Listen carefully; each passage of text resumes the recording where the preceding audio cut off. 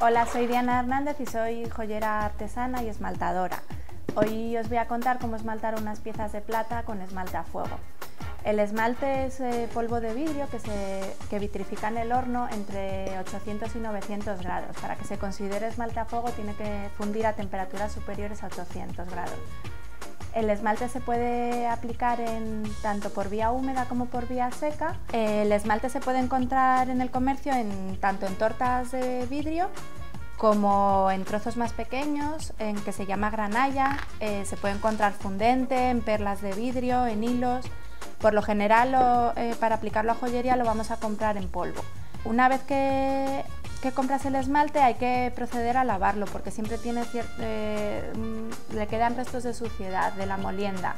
Entonces eh, se lava el esmalte y se puede secar para aplicarlo por vía seca o se deja con el agua para aplicarlo por vía húmeda. En este caso lo vamos a aplicar por vía húmeda sobre unas piezas de plata. El esmalte además se puede, se puede encontrar tanto opaco como transparente o ópalos. En el caso de aplicarlo en la plata quedan mucho más bonitos los colores transparentes, ya que mm, pues, se ve el fondo del metal y al aplicarlo sobre plata se gana mucha luz, da mucha luz a la pieza. Para esmaltar una pieza de joyería lo principal es que esta esté muy limpia. Hay que limpiarla con bicarbonato para quitar eh, posibles restos de ácidos y con piedra pómez para desengrasarla. Una vez limpia y seca se cogen los esmaltes que se vayan a utilizar eh, para eh, para ello es mejor hacer primero una prueba de color porque el esmalte no siempre tiene el mismo color cuando lo vemos seco o mojado a como queda luego una vez fundido. Una vez que tenemos seleccionados los esmaltes que vamos a utilizar para este trabajo, se proceden a aplicar con un pincel eh, rellenando los huecos que queremos que luego vayan a tener color.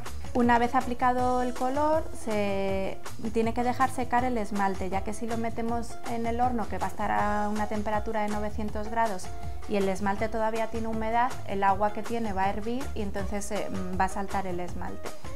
Se mete en el horno sobre una fibra refractaria y es en, cuestión de unos minutos que no hay una temperatura fija, se tiene que observar a ojo, el esmalte se funde y pasa a ser vidrio y pasa a formar parte de la pieza.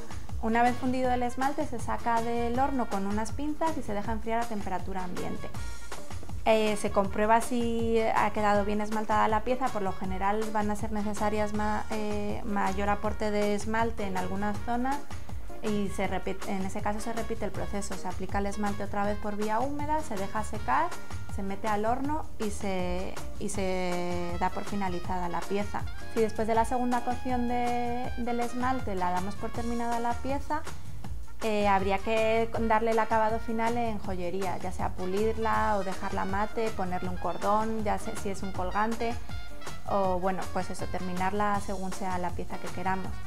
Bueno, y hasta aquí el proceso del esmalte a fuego. Espero que os haya gustado.